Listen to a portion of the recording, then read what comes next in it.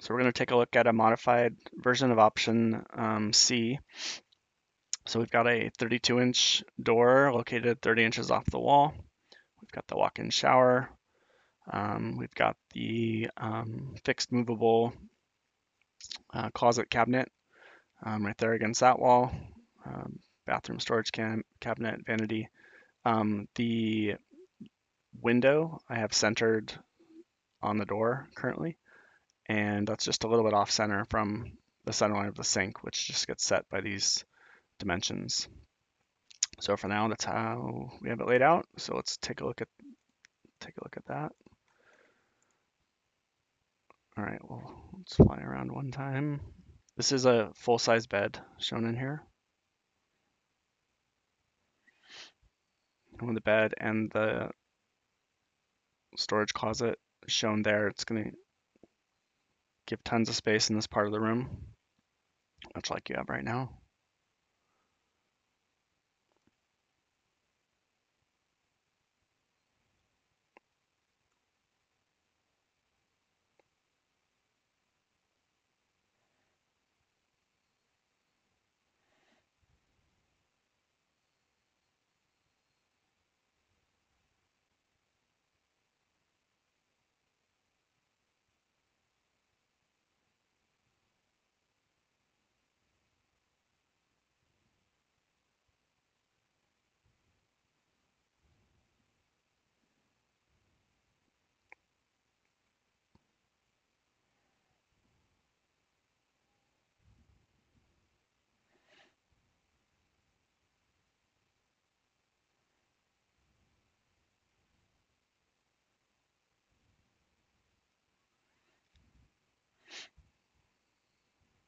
So once we get this layout finalized to what you guys want, we'll put in a little more detail for the cabinets and the shower in our model here to take another look at it with a little bit more detail.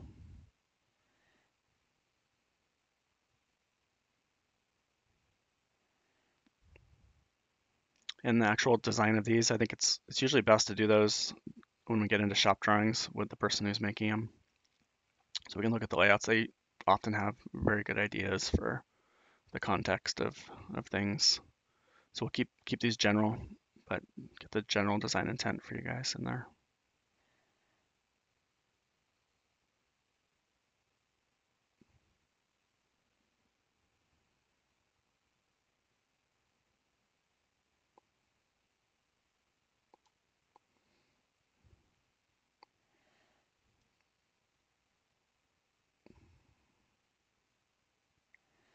All right, let me know uh, what you think, if you have any more comments or ideas.